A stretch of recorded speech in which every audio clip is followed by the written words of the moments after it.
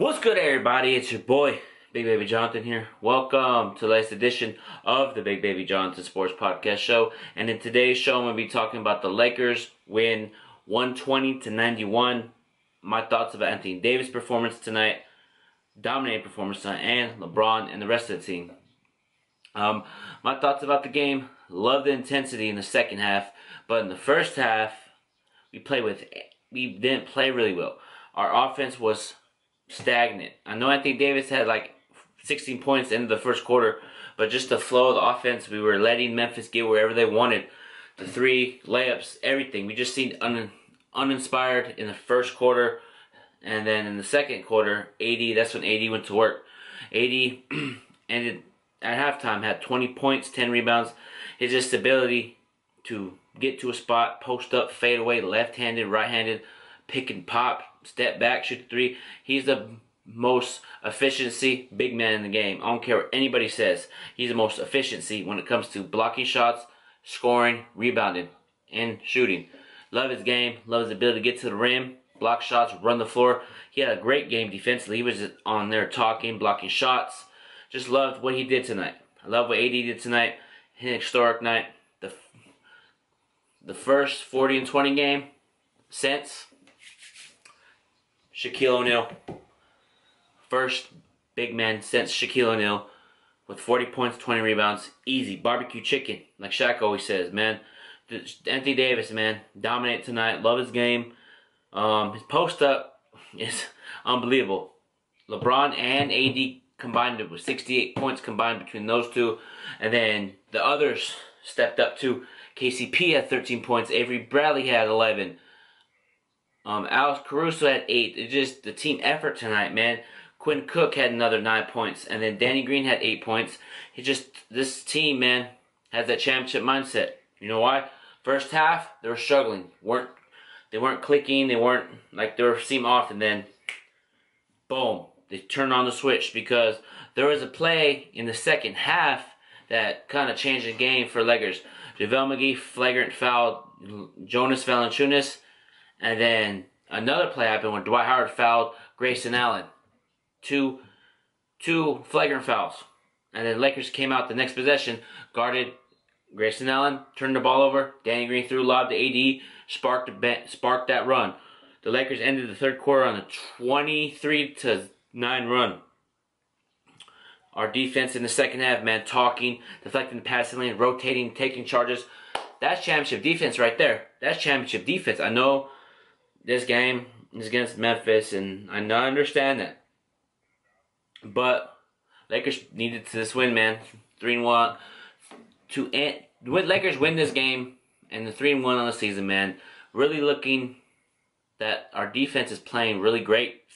The second half for us is our best bet because I know it's, it's been happening. First half, Lakers not playing so well. The second half, and then that's when Lakers want to turn the switch and run and gun, shoot the three. Danny Green shooting threes. Troy Daniels, Jared Dudley, JaVale McGee blocking shots, run the floor.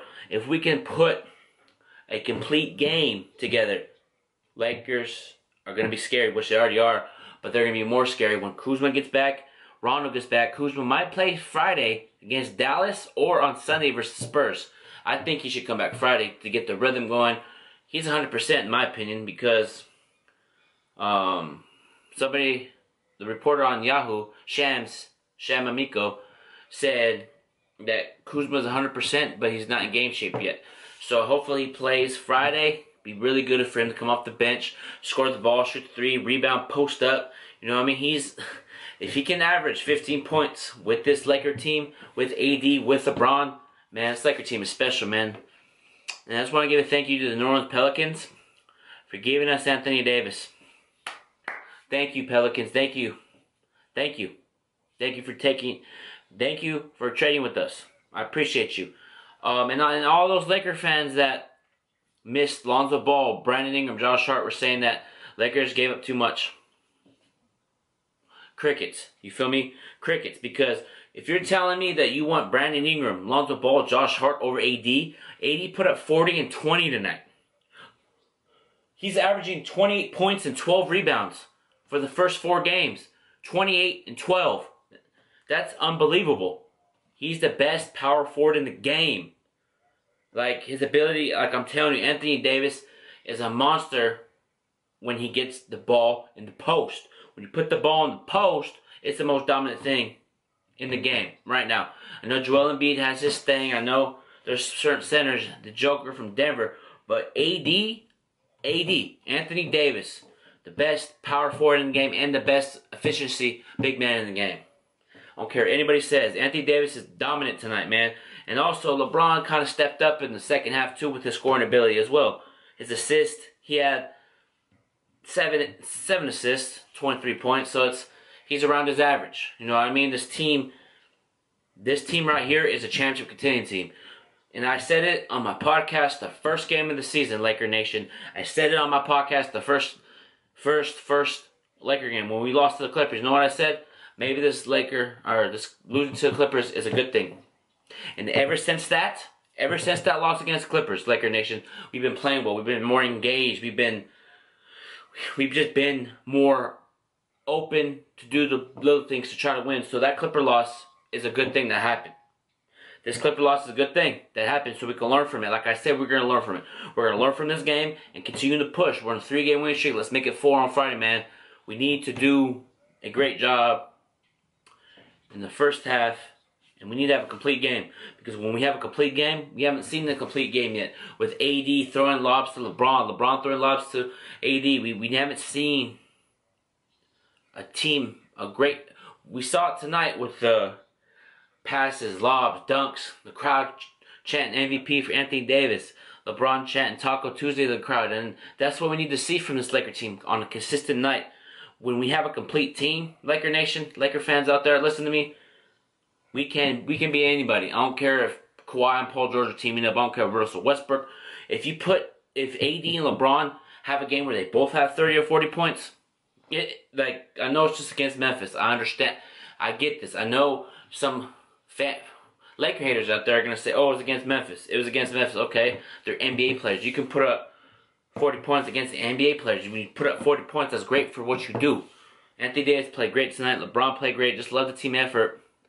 And what made me realize that this is a championship containing team, man, just the, the just the resiliency. They weren't playing well in the third quarter around there. Um, and then the championship experience and their, their their experience with each other so far as clicking when they time needed to, man. Danny Green coming out deflecting passing lane, Troy Daniels taking charges. It's just it was just a great team effort in the second half, man. And we and we can we're we're a championship contending team, man. Those three four three four games so far, but I really like what we're doing as a team and AD AD he was that he was him and LeBron and the rest of the team around us were the main reason the Lakers won tonight. I really like how we shut down Ja Morant, Valanciunas, Jonas, or Jaren Jackson. We shut him down. And Grayson Allen, we shut him down. And Devin Booker, we shut him down. So we shut the guys that wanted to shut them down. Jae Crowder had a decent game, 11 points, but first half he was shooting three, playing great defense, a decent defense on LeBron. And then second half we trapped him. We're trapping a lot of our our big men. We're trapping a lot of the, their point guards, Ja Morant and uh, Tyus Jones. You you, you know Ty Tyus Jones. You know we were trapping them. They were turning the ball over, and we would get out in transition. And when we get out in transition, Dan Green would hit the three. Quinn Cook would hit the three. You know what I mean? Um, Avery Bradley played great defense on Ja Morant in the second half because Ja Morant scored 30 points against Kyrie. And then this game, he started. He was trying to get going, but the Lakers' swarming defense and double teaming helped. And Dwight Howard once again impacted the game. Man, his defense, his hustle, his grit, his grind, deflecting the passing lane just diving for loose balls, blocking shots, getting the crowd going. That's what we need from Dwight every game. If we can have that consistency and hustle, energy, man, it's gonna be it's gonna be something to see, man. I'm really really excited how we've been playing. Really like how we've been playing. Just just I love what we're doing right now as a team. Frank Vogel is doing a great job, and the coaching staff is doing a great job so far. Frank Vogel's doing a great job. Lionel Hollins, Jason Kidd, everybody on the staff is doing a great job getting the players to play to the potential and play for for 48 minutes. You know what I mean? Love what the coaching is putting into plays, putting in the putting in the right schemes and sets and stuff because this team right here has a chance to do something special. I could feel something special coming this year. I could just feel it with the way that we've been playing. I know it. The, the way that the Lakers have been playing, man, it's something to see. It's something to see, man. Really looking forward to it. But I'm going to end this Big Baby Jonathan Sports Podcast show. Go ahead and follow me on Instagram, Big Baby Jonathan underscore. Go ahead and subscribe to my YouTube channel, the Big Baby Jonathan Sports Podcast Show. And when you do subscribe, leave a like, share it, turn on the post notifications. And if you want to hear great Laker knowledge, welcome to the Big Baby Jonathan Sports Podcast Show. Follow me on Twitter, Big Baby Jonathan. And until then, everybody, have a great night. Peace out. Go Lakers, baby. Woo!